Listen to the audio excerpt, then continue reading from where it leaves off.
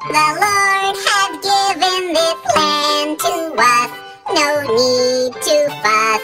He knows what he's doing. We know that he will take care of us if we will follow him. Now everyone, sing together.